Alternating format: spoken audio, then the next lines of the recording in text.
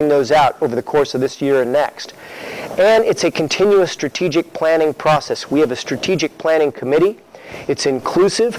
We meet every quarter with the 10-member organizations, and we're going to take our approach so that we become a major force in American life. We have an internship program. You remember Sarah Palin? She made fun of uh, Obama as a community organizer. Well, our internship program is our community organizers. We just started with a new intern just last week in Washington, D.C. There's a young woman who is the type of young woman that we can see who will run for the city council, the legislature, and Congress in the future. We're going to develop these future leaders with our internship program. It's critically important that we do. At our summit, we had Sally Quinn. I don't know how many of you know Sally Quinn. She runs the Washington Post On Faith column. She's also the wife of Ben Bradlee, who was President Kennedy's uh, best friend. And uh, Sally Quinn said something that, uh, with all the many positive things she said, she said, well, I don't think an atheist will ever be elected in my lifetime. And as much as I admire Sally Quinn, who's a non-believer herself, uh, I say no. I say if you're under 40, heck, I think if you look under 40, you can, you can do it. You can do it. Just like I remember specifically five, six years ago, someone saying to me, I said, oh, oh, a black person can be elected president. They said, that's absolutely impossible. It will never happen in our lifetime. So if you find the right black candidate, yeah, they will. Yeah, we will. And I say the same for us. Will we create the base? Will we create the organizational base? And then you wait for the right person to rise up. First, it's the state legislature, the city council, the school boards. Then you move on to mayors and Congress. But you build that base, and we can succeed, and we can succeed in a generation if we stick with an entrepreneurial innovation culture in this movement. And that's what we are going to get done. Next is we broaden and deepen our financial base. We have to raise money. Less than 10% of our money comes from our 10-member organizations. It all the rest, all the other 90 plus percent comes from individuals. And one of the privileges I got as the executive director of Secular Coalition is I got to pick the names of our society levels, our gift levels in our organization. And one that I picked because of sentimental reasons for me is Elizabeth Cady Stanton, who said, and I quote, the Bible and the church have been the greatest stumbling blocks in the way of women's emancipation. I served 10 years in the Maine legislature with my primary interest being women's rights and children's issues. I had a 100% voting record with the Maine Women's Lobby, lobby every session, 100% for 10 years.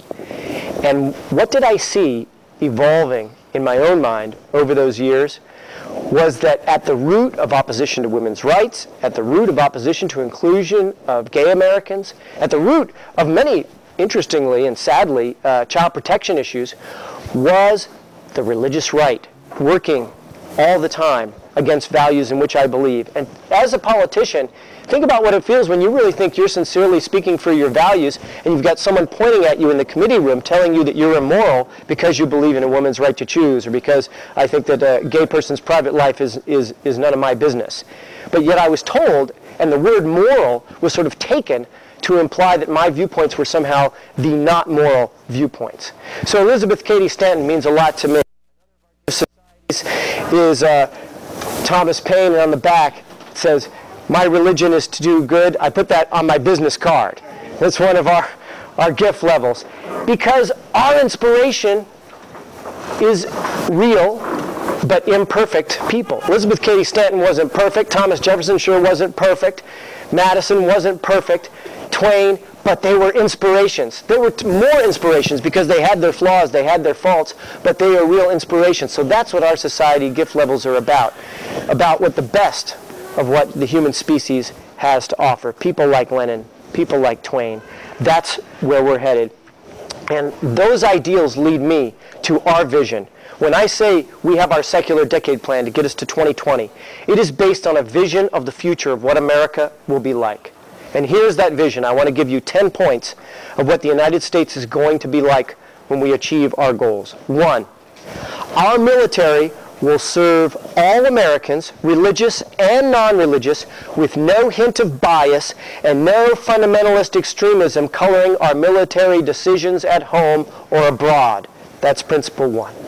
Principle number two, any federal or state-funded program whether offering services domestic or foreign, which relates to reproductive health or intimate sexual decisions will be based on science and public health, not based on religious bias, the denigration of women, or sexual minorities. Number three, healthcare professionals have an obligation to choose life and health and healthcare professionals of all categories must choose to fulfill their professional duties and their professional oath without religious bias and respectful service to the legitimate needs of vulnerable patients they serve, or they must find another job. Four, discrimination based on religion will never occur in employment with use of government funds. Never. Five, maybe this is five.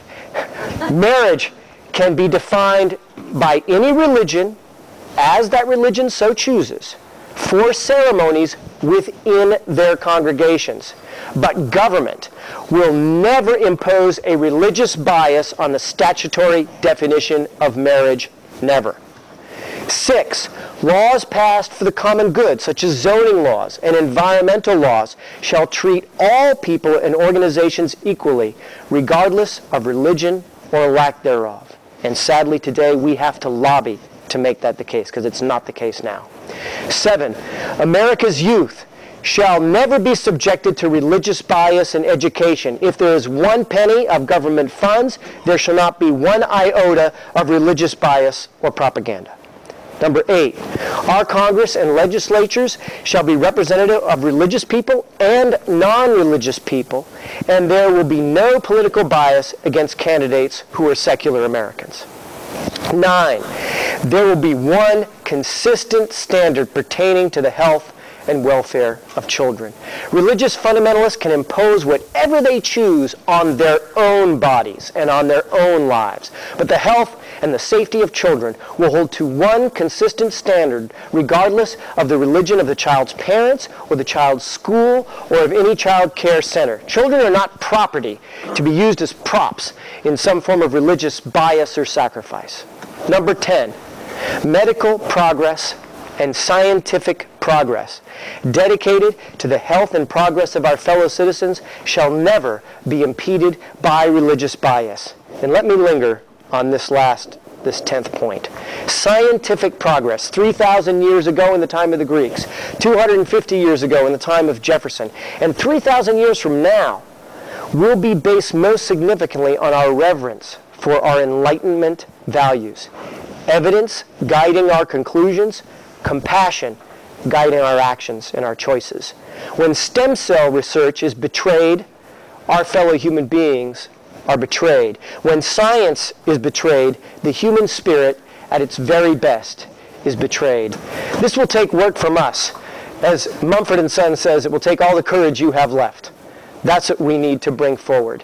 As Helen Keller, a great non-believer, said, life is either a great adventure or it is nothing at all. I believe in this adventure. I believe in our secular decade plan. I believe that if we get organized and bring our plan into the future, that we can not only transform this movement, we can transform the United States of America and serve an important patriotic mission at a pivotal time in American history. This is the time of maximum danger.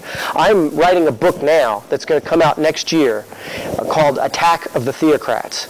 And I am guaranteeing you that at no time in American history have we seen a higher percentage of theocrats who are holding high elective office. It is up to us. We have an obligation not to sit back. We have an obligation not to say, oh, woe is us, we're too small, we're too disorganized. It is time to get organized. And that is what the secular decade plan is about. I pledge to you that I am devoting the rest of my life to this cause. And I am asking every single one of you in this room to devote a part of your day, to bo- devote a part of your time, to devote a part of your resources to this effort consistently so that we can change this country. I thank you, and I'm happy to answer any questions that you have. Sure. Do the Q&A real quick.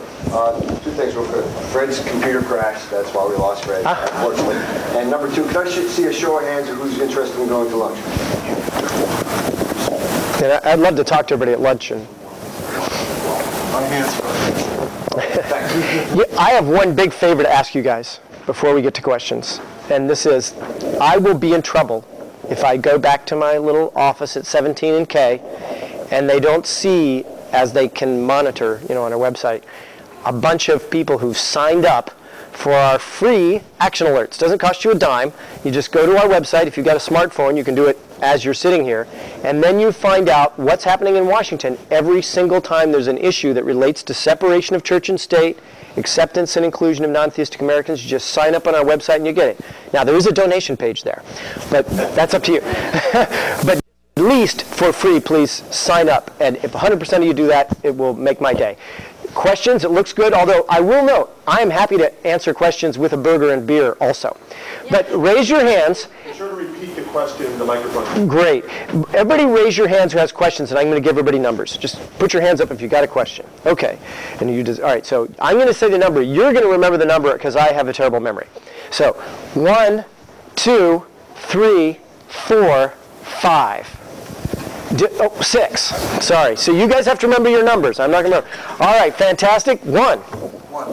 Okay, uh, you did a lot about members of Congress and the positions and how Yep. pressure here and there. I belong to an organization called Citizens for Global, I guess it says Global Change. Mm-hmm. Okay, and they put out a report card just before a congressional election, and they rate members of Congress how supportive they were to Mm-hmm. issues uh, resolving these conflicts around the world through more than unilateral action.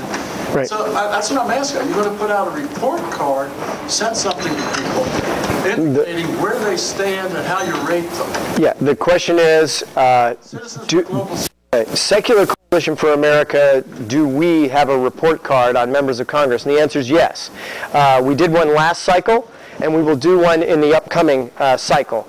You probably won't see that until the beginning of next year, but as the election season starts, you'll have a report card from Secular Coalition uh, for America on members of Congress and where they stand on separation of church and state, acceptance and inclusion of non-theistic Americans.